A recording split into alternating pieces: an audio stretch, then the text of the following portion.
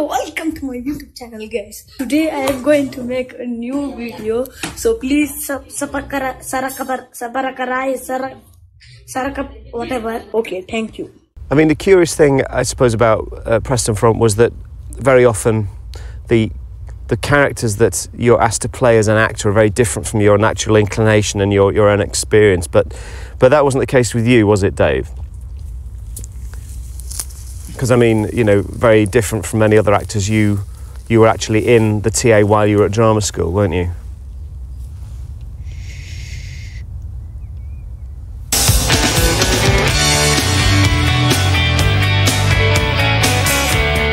Right, have a look at chapter 9. Ah, yeah, trucks out of lakes. Easy.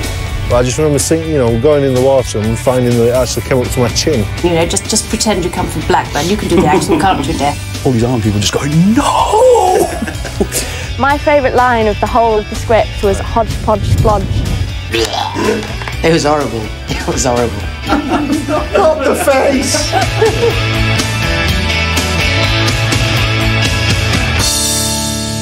I can remember the uh, the first letter, the first episode went out, and uh, and of course you've got no idea of how it's gone down, and uh, or indeed whether anybody watched it at all, such is the nature of television. And I was listening to the radio the, next morning, and uh, this bloke phoned and said, "I, I uh, watched this uh, television program on BBC One uh, last night called All Quiet on the Preston Front," and I held my breath. I thought, "Did you like it? Did you not? Oh my God, what's he going to say?" And he said, and I just, I'd just like to ask, my hobby is going round garden centres, and I'd love to know where was the garden. Oh, for Christ's sake. My husband sent me to get some patio lights. Do you think six of these will be enough? Six of those will light up your patio beautifully, madam. The only trouble is you may also run the risk of having light aircraft landing in your garden. Pardon? Is your husband involved in the illegal nighttime shipment of narcotics? It's just for barbecues, really. Because I, I was cast only a week or so before we all had to go off to do the TA week. It had a name, didn't it? I can't remember. Oh, I can't remember what it was called now. There was a Um, special operation. I'm sure MacCreedy will remember. Operation Bold Thespian. That's the one, yeah. Operation Bold Thespian was set up specifically by the TA. Yeah. To basically give us six weeks worth of basic training in five so days. To turn actors, in, Yeah. turn actors into passable Yeah. soldiers. Shout, you waggling in the road! You're the one who's bubbling! We were contractually obliged to do it. Oh, were you? Uh, yeah, we were contractually obliged to do it. I think it was it a week? It was, for most people, it was a week. Oh. Some people didn't do the full week. A, a week, a week at at, at um, the headquarters in Bath, Right. um, which was certainly an eye opener. We all arrived at the camp in the afternoon, then we had a a, um, a quick introduction to the, the rifle.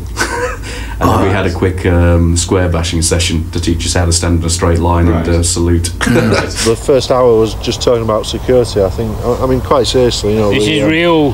This is real. This is real. the terrorists don't know that you're actors. That's it. and then we just went and got drunk, and then the next morning we were up at um, half past five Yeah. and just taken for a four mile run. Which, Which, uh, and everyone, everyone, including myself, well, about four people vomited yeah. as soon as we finished it. Because we had egg and beans and toast and it was horrible. It was horrible.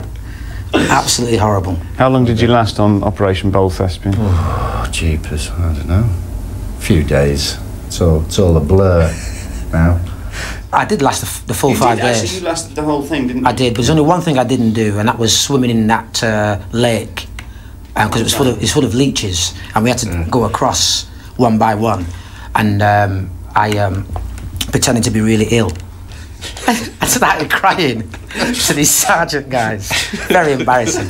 He said, "What's the matter with you?" And I said, "Oh, I said, oh, I think I've got, you know, um, sickle cell." The only thing I could think of that he would know anything about. And he went, "Oh, oh, okay, then. Well, you, you stay here." Then I went, "Oh, thanks." My dad was actually in the in the Marines, so I, I kind of knew a few little things anyway. And uh, actually, on the on the course, we were getting taught about section attacks and how to do it. And there was like a corporal standing up there shouting at everyone, saying, "Right, why do you think you do that?" And I just went, "Well, it's because of this." he went, "Yes, right." to be absolutely fair to them, they did a fantastic job, really, because the amount of kudos that we got from the military over the way that we conducted ourselves hmm. when we were actually, you know, just, just the way you hold a gun. Yes. Or a, a rifle, sorry. and, and not calling them And not calling them- yeah. and that everything was rounds and Yeah. and, and, and that there was I remember being a big deal about the way that you hold you put on you Your beret. beret. Unless you're airborne, you, are capped by just to go over your left eye, but you could sneakily try and get it a little bit further out to be cool. Right. So that's relatively, I think, kind of relatively cool. However, the BBC tend to have people who look like Iraqi policemen, like that. And there was a moment, there was a moment the first on the first day where um, they kind of got it wrong, and they had us all wearing them, We did get a couple of letters about that actually. which was completely wrong. I I mean, there's wrong and there's stupid, isn't there? I mean, it was a little pedantic. I felt, you know. Dear the BBC, I spent 30 years in the army and never wore a hat in the shape of a bear's head. Off centre vision, Corporal. Go on. Uh, you look to one side of the object. How much to one side? Well, just a bit. The army doesn't acknowledge the bit as a unit of measurement. Matlock, you're a teacher, you should know that. History teacher. Shut it! They didn't organise the assault on the Falklands by saying you lot land a bit away from that rock and then you lot land a bit away from them, then we'll all run up the hill a bit. The army runs on specifics, Matlock. Razor sharp. There are no puffy, fluffy bits. The bloody 360 degrees in the compass isn't accurate enough. We have 6,400 mils in ours. We do not look a bit off the object, we look 150 mils off the object. How much is that, Corporal? About that much. I spent a long time researching the, the TA, and all of it was sort of useful in terms of how the TA was laid out and the mentality and how it operated, the, the, the like the, the infrastructure of it. But of course, I made the mistake of asking squaddies, "Have you got any funny stories?" N- None of which I could use Yeah, because they exactly. all were Yeah. about Getting that was drunk and- there was that time and- when we all, you know, lifted up, had curries and crapped Yeah. all over the M6 Yeah. as we were going along we it. drank each other's wee Yes. for a, a laugh, yeah. Yeah. Yeah, well, I'm top scorer on Jungle Battle. You still got another life? Yeah, go on, Eric. You can still get over the river. Not we are. To monkey needs a monkey for more power. Hey, try swinging on the vines. Look, he needs a monkey, I'm telling you. Yeah? Go on. No prisoners. Two, three. Now! He needs a monkey. On target. Yes! Congratulations, Commander. Normally, you need a monkey to do that. Budgie does d- develop throughout the throughout the series because he he starts off he originally is a comic motor. He's a big prat, and of course you can't you can't keep a character just being a big prat really for an episode, let alone a series, let alone It's three. worked for me for 20 years, so. Prepare to be gobsmacked. There was always an issue of recapping, of telling, of, of kind of going back. And in series two, it was um, Lloydy being on the, on Nick Owen's daytime television show. Thanks, Ian. Now, a couple of months ago, our next guest was made redundant, but instead of just sitting back, he found a way of using his rather unusual hobby to get himself off the dole queue. So it's welcome to the show now, Tony Lloyd. Hello, Tony. All right, Tar. which was a shorthand way of saying, look, this is what we do, and this is him, and that, that, that. And they all have daytime jobs as well. Oh, are you? Well, uh, there's Orgy, he works in a garden centre. Uh, Eric, well, Eric doesn't know, really, I suppose. Oh, cheers. I seem to remember Nick Owen being particularly good in that, actually, because Yeah. it's very hard. was He actually did it, didn't he? Yeah. And he got all those kind of Yes, slight that's like, Oh. look, off camera. bit, Yeah. beats. What, like that? Oh, go on, faster.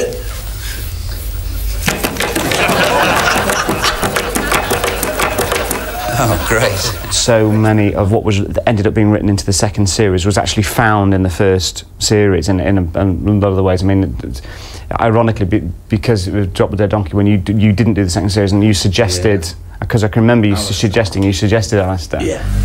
Isn't this smashing? Hmm? Five speed gearbox for economy. Three seat belts in the back. Have you seen the back seat? I'm practically sitting in it. Will you stop going on about how small it is? Do any of these buttons do out interesting? I think Also, what changed specifically into the setting series was the fact that it felt more colourful as a series. Now, I remember watching the first season thinking there was an awful lot of it that seemed quite, uh, quite somber and dark. I started the whole series off Introducing Yeah, brilliant. characters in- in A whole bunch of people who've never been on television before in camouflage in a wood at night.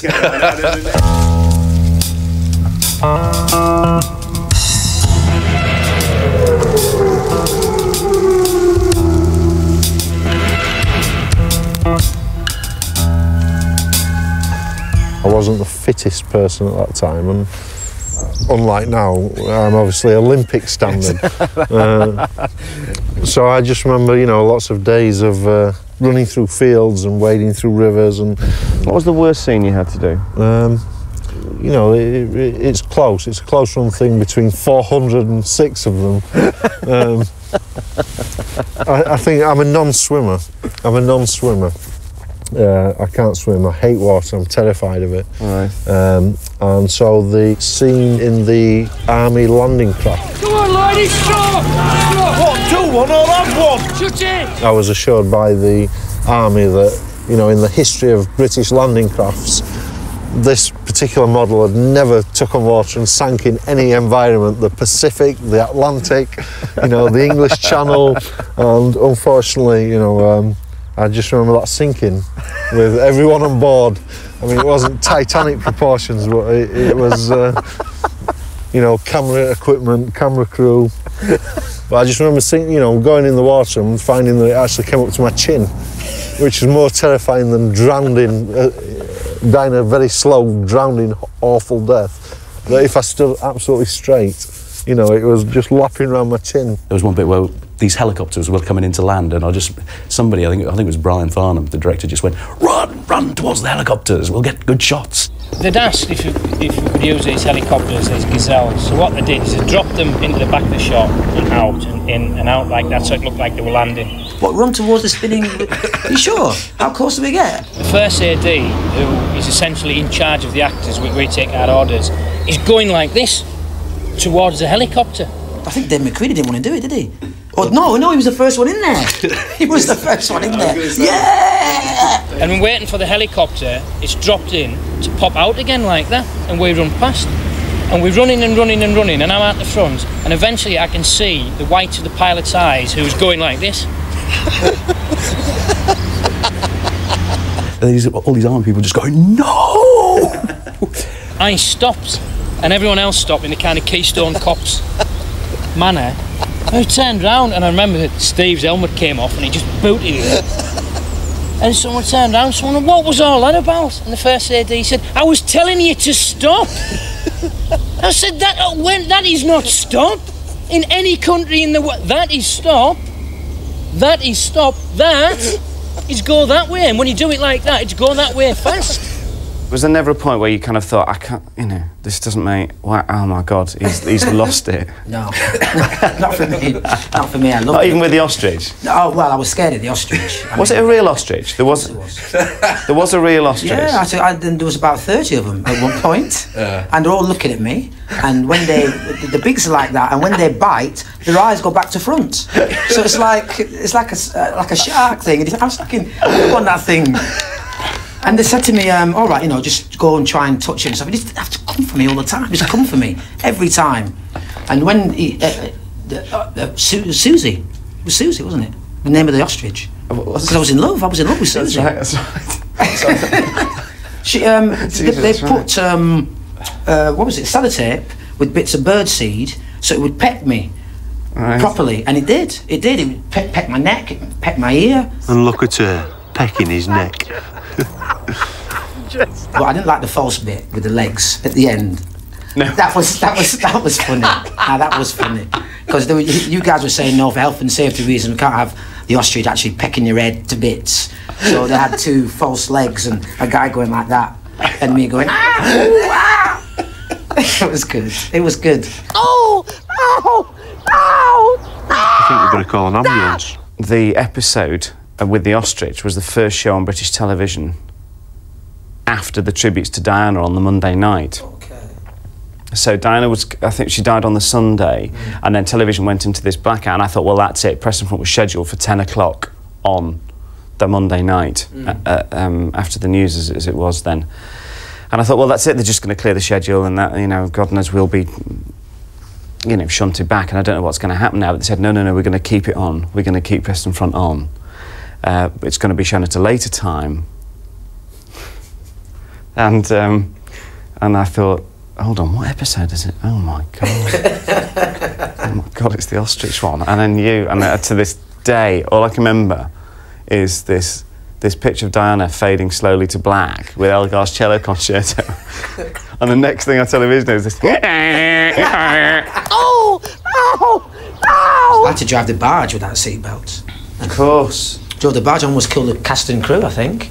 Do you remember? I went straight into the bank. And I said, I can't, I can't do it, I can't do it, I can't do it. Oh, again, that was a, a fantastic environment for me to work in, being, you know, quite a small, compact guy. It was good to work on the barge for three days. The most unpleasant to shoot for me was the confrontation with Janetta at the end of Blackpool Pier, at the end of series one, because it was freezing. I was wearing the shortest dress that I couldn't wasn't it? That's get thermals underneath. And um, makeup kept blowing menthol into my eyes to try and make me cry a bit more. And I had contact lenses then, and my eyes were killing me. So that was not fun. Laura, stop being wet. That's reassuring because I thought you were going to say you're doing the bed scene with me, but there we go. That was I- second. I remembered that because I said I put in the stage direction. I think the stage direction say ref, refer to Betty Blue, Yeah. which is which is great because everybody got the film out, Betty Blue, and I've still never seen Betty Blue. I just thought I thought that's what it would be like, and so I think the scene ended up largely being blue. Yes, it was. It was blue. It was shot with a very and, blue um, line. And I, I think a strap went like that. Yes, that yeah, was it was it. That was absolutely- it. that was Because I was, I was terrified. It's a mouse. What? What? What? Prawn mousse. That's what I'm missing. But you played the piano, didn't you? Yeah, I did play the piano. I played the piano with an extraordinary. I had a lot of hair at that time. How stupid was this? I really thought that I'd just be able to play in the background and that would be it, and no one would notice. And of course, you can't do that because you know the sound is different from each for each take that you then use. So I then had to play a dummy keyboard in a dicky bow in the back of that scene, looking like Chris Waddle with this huge permed hair, and then at the end record the music on the conditions like Elton John would have, like 15 microphones shoved into the piano with all the crew just sitting around watching. The hairiest time we had, uh, we were do, doing a simulation uh, house clearance exercises, which we filmed in Birmingham. And we were using part of an estate where it had been abandoned, running out and shooting. Yeah. And then the locals started to arrive and were picking up, you know, empty shells and things, these kids. And then when people had finished work, we were sort of blocked in, basically. so we were at a blind alley.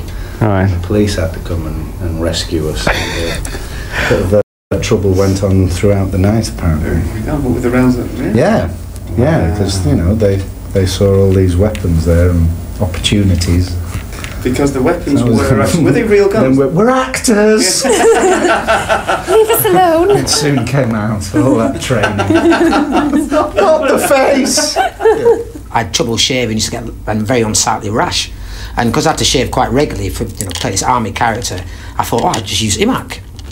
So there was, um, I think we'd done we'd already done some bits with Prince, and I thought, all right, let me get a nice little nice little clean shave, put the Immac on as normal, keep it on for ten minutes, then get a rag, put it under hot water, put it on your face, boom, all the hairs in the rag, smooth as a baby's bottom, smooth as a baby's bottom. This one particular night though, I put it on and um, I had a glass of wine, watched a bit of telly, fell asleep. Supposed to keep on for 10 minutes. I think I fell asleep for about 25 minutes and I woke up to the smell of burning hair. And um, you know, you know, you know when you're late and you wake up, you go, "Oh my god, oh god!" and you bang into everything. I think I was doing that. I going, "Oh my god, I've got to get it off." And I took it off, and my skin was red raw underneath, and it was just bleeding, just bleeding. And I went into makeup next morning, and it crust, it crusted over like an overnight crust. And they went, "What have you done?" I went, "Well, you know," I so I used the Mac, and I kept it on too long. But since then, that day, I've, I've never, never used it again. I hadn't passed my test before that series. So, um, I mean, I had two weeks to pass my driving test that the BBC actually made me do. um, with an instructor that had never taken any other pupil. Uh, I was his first pupil, so I, I passed somehow, and then got to drive the enormous convertible left-hand drive, uh, very rare, expensive American car over Lancashire's hills. It's all right. You get a free call out thing on this model. It says it manual. Oh. It's only valid within 200 miles of Detroit. Because you lied your way into this show, didn't you? You were very, very. barefaced. How old were you, or where were you I, from? I was I was still at drama school, Right. and um, I'd managed to get an agent, and they said, "Oh, go up for this." I was from London originally grew up in the northeast of England, and the the agent I had said, "Oh, don't worry, darling. You know, just just pretend you come from Blackburn. You can do the accent, can't you, dear?" And I just went, mm, "Yeah." And um, for the first audition and for the recall and the read through, um, I spent the whole time talking like that. Well, off. Yeah, yeah, off everything because I was terrified somebody was going to turn around and go, "You out now!" and it was only when we got to um, the first day of rehearsals that the director Brian Farnham said, "Well, if anyone's got any problems with the accent, go and speak to Mum at the end." And I did the. oh, me. and he went, "Yeah, you. You're you're from Rochdale or Blackburn or somewhere." And I went, "No." I thought you were in CND. That was before Greenpeace. You changed. Well, CND moved to Tuesday nights, and that's when I have aerobics. and it helped an awful lot that uh, I knew Dave before and took him in for his audition at Central, Central School of Mm. Speech and Drama. So I was just about to leave, so we were able to walk into the audition together and just use the, the height gag that you'd written of the, the Burmese jungle stare with, with him only coming up to here. So, uh, and I think we both kind of thought, uh, when we came out of the audition, that we thought we'd, we'd hit on something there. Why does he do that? I reckon it's from his days in the regulars. Someone's told him it's some sort of Shinto mystic jungle way of asserting authority. It don't work if they're taller than you, though. Just looks like the end of brief encounter.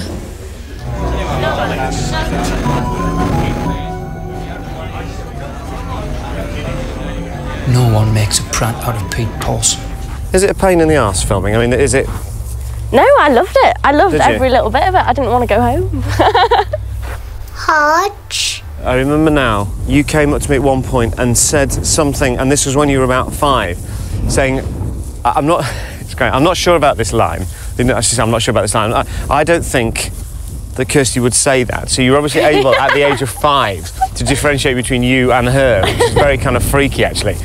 There's a lot of actors can't do that. He's mummy's special friend too. He comes to our house. Uh, when we did the very first read through, you were the only person who complained about the lines that yeah, had been given. I do actually remember that. Do you remember doing that? yeah. Because I'd what had, what had actually happened? It was my favourite line of the whole the whole of the script was Right. hodgepodge splodge. Yeah. and then It's a huge at the read through, you tried to cut it. Why did I? That's very strange. I don't know. I, I don't know why you tried No. to cut it, but I wasn't right. happy. no. All I can remember is being there's these two tiny eyes coming over the table. and, can I, and I thought, oh, that's great, that's great. I'm getting script notes. Four-year-old child now. He does Hodge. Come on, Kirsty. That's a good girl. Thank you. Hodgepodge blodge. He makes watches disappear. Does he now? The thing that happens time and time again in the TA is that the boss at work can find out that he is suddenly working subservient to the guy that he commands, and, and, and the power relationship shift, and that was the whole Polson Rundle storyline. Sir, can I just say, we weren't bimbling along. Corporal, I was there, watching.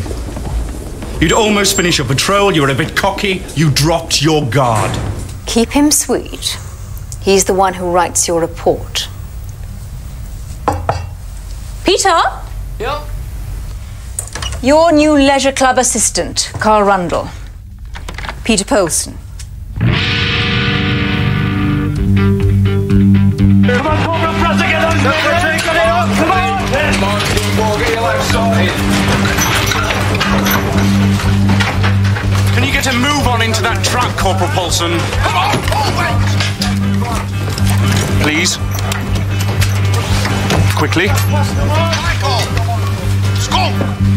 So the topsy-turvy bit of Rundle being in charge of Polson in the army, and Polson being Rundle's boss, um, re- represented an interesting aspect of, of the way it really is in the mm. TA. Like one of the guys in the light infantry down in Bath, the major, was a taxi driver, which I, I mean, mm. Just can't get your head around you know, you could expect the major to maybe mm. work in a garden centre or be a curator of a museum or some, or you know, um, be the master of the hunt, but not a taxi driver. See, I know from the regulars that most people think the TA are a bit half cock, you know. It's good to get chances like these to show them. Mr. Polson, can I remind you that we are down to do a game? The TA public relations line is to warmly encourage participation, not to stand in a field with an iron bar saying, come and have a go if you think you're hard enough. Urinals, Mr. Rundle. The first time that we see Polson really, really, really out off his territory is, you know, in the in the toilets of the theatre, trying to you know bone up on Coriolanus so that he doesn't embarrass himself socially in front of his wife's pit. Well, yeah, exactly. You know, his wife's friends are a different race hmm. from him. Hmm. They are quite, you know, not even they're not they're posh. They're hmm. aristocrats as far as he's concerned, but they're just oh, They're middle class yeah, people, slightly posh voices who go to theatre, and he, there is no manual for that. That's Mm. what he can't. There isn't Yeah, in the army. There is a green manual for everything. Sir, there- there's a truck fell in the lake. Right, have a look at chapter nine. Ah, yeah, trucks out of lakes. Easy, right? There isn't a manual to. How can I not show my ignorance? Coriolanus was written in 1609. Is Shakespeare's second longest play and arguably his last tragedy. Second longest play, last tragedy. Second longest play, last tragedy. Ben? Kim? Pete, did you get a programme? Uh, no, no, I didn't actually. Well, we can get one at the first interval. There are two, aren't there? I don't know, actually. Probably.